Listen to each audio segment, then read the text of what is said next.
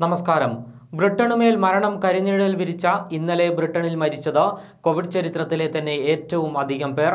ആയിരത്തി അറുന്നൂറ്റി പത്ത് പേരാണ് ഇന്നലെ കൊറോണ എന്ന ഇത്തിരി കുഞ്ഞൻ വൈറസിന് കീഴടങ്ങി മരണം വരിച്ചതോടെ ഒന്നാം വരവിനേക്കാൾ ഭീകരമാവുകയാണ് കോവിഡിന്റെ രണ്ടാം വരവ്. അതേസമയം ഒരൽപ്പം ആശ്വാസം പകർന്നുകൊണ്ട് പുതിയതായി റിപ്പോർട്ട് ചെയ്യപ്പെടുന്ന രോഗികളുടെ എണ്ണത്തിൽ കാര്യമായ കുറവ് ഉണ്ടാകുന്നുണ്ട്.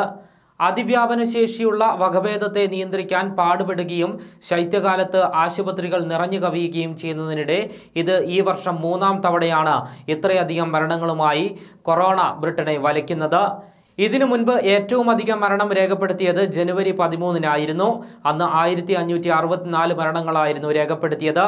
അതേസമയം കെയർ ഹോമുകളിൽ കോവിഡ് മൂലം മരിക്കുന്നവരുടെ എണ്ണത്തിൽ കഴിഞ്ഞ ആഴ്ചത്തേക്കാൾ ഇരട്ടി വർധനവ് ഉണ്ടായി എന്ന റിപ്പോർട്ടും പുറത്തു വന്നിട്ടുണ്ട് സാധാരണയായി കോവിഡ് ബാധിച്ചു കഴിഞ്ഞാൽ അത് ഗുരുതരാവസ്ഥയിലേക്ക് വളർന്ന് രോഗിക്ക് മരണം സംഭവിക്കാൻ ഏതാനും ആഴ്ചകൾ എടുക്കും. അതിനാൽ തന്നെ ജനുവരി നാലിന് പ്രഖ്യാപിച്ച ലോക്ക്ഡൌണിന്റെ പ്രഭാവം മരണനിരക്കിൽ പ്രതിഫലിക്കാൻ ഇനിയും ഒന്ന് രണ്ട് ആഴ്ചകൾ കൂടി കഴിയേണ്ടി വരും.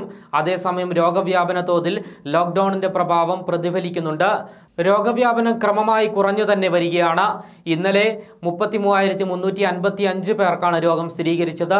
കഴിഞ്ഞ ചൊവ്വാഴ്ചയുമായി തട്ടിച്ചു നോക്കുമ്പോൾ ഇരുപത്തിയേഴ് ശതമാനത്തിന്റെ കുറവാണ് സംഭവിച്ചിരിക്കുന്നത്. അതിനിടയിൽ വാക്സിനേഷൻ പദ്ധതി പ്രതീക്ഷിച്ച രീതിയിൽ മുന്നോട്ട് നീങ്ങുന്നില്ല എന്നത് സർക്കാരിനെ വിഷമിപ്പിക്കുന്ന മറ്റൊരു വിഷയമാണ്.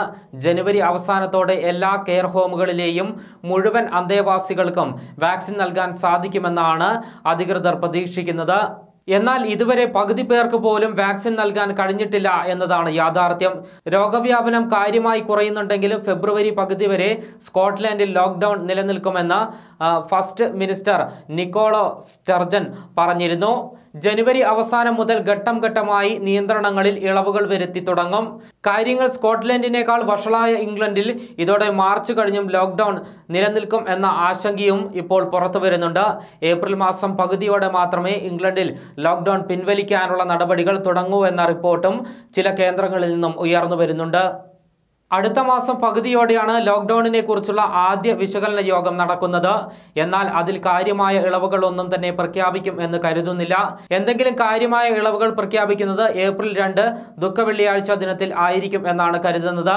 എന്നാൽ വാക്സിനേഷൻ പദ്ധതിയിൽ എന്തെങ്കിലും തടസ്സങ്ങളോ കാലതാമസമോ ഉണ്ടായാൽ ഈ രീതിയിലും കാര്യമായ ഇളവുകൾ പ്രഖ്യാപിക്കാൻ ഇടയില്ല. എന്നാൽ ഇതുവരെയുള്ള കാര്യങ്ങളുടെ പോക്കനുസരിച്ച് വിലയിരുത്തിയാൽ വാക്സിൻ പദ്ധതി നല്ല വേഗത്തിൽ തന്നെ പോകുന്നുണ്ട്. എങ്കിലും സർക്കാരിന്റെ അവകാശവാദങ്ങൾക്കനുസരിച്ചോ അല്ലെങ്കിൽ നേരത്തെ നൽകിയിരുന്ന വാഗ്ദാനങ്ങൾക്ക് അനുസരിച്ചോ ഉള്ള വേഗത ഇതിന് ഇനിയും കൈവരിക്കാനായിട്ടില്ല. അതുകൊണ്ട് തന്നെ രാജ്യത്തെ മുഴുവൻ ജനങ്ങൾക്കും വാക്സിൻ നൽകുവാൻ വർഷാദ്യം വരെയെങ്കിലും സമയം എടുക്കുമെന്നാണ് ചിലർ അഭിപ്രായപ്പെടുന്നത്.